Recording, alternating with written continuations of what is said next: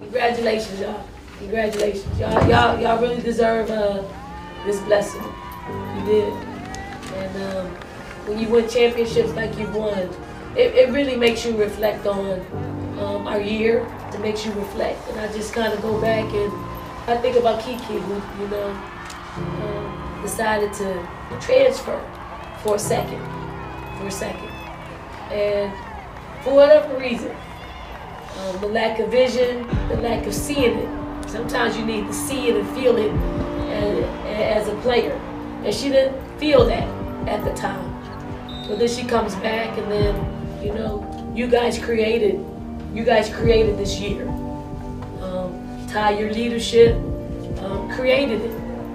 Um, Henny, um, in the freshman class, you're young. You created it by following. Just, hey, let me do my part. Let me do my part. I'm just gonna do my part. Um, um, she probably could have did the same thing some other people did and left, but she didn't. And I don't even know if she saw her playing a, vital role in the success of our team. Sometimes you got to do it on faith. Um, the, the, sophomore class, um, you went through a lot last year, and I told you guys, I promised you that you would not have another year like you had to endure um, last year.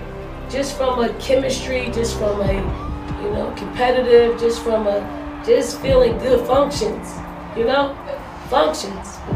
Um, but I thank you for believing in this.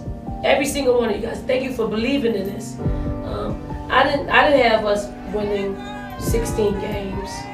I had us winning. I didn't have us winning 16 games, you know. But it is a super proud moment.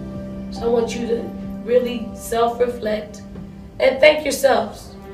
Because I, I, don't I don't think you thank yourselves enough for what you put into it. I know people talk to you about stuff, but thank yourselves for the hard work.